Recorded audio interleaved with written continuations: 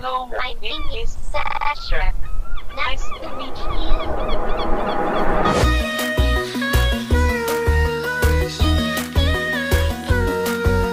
Sasha.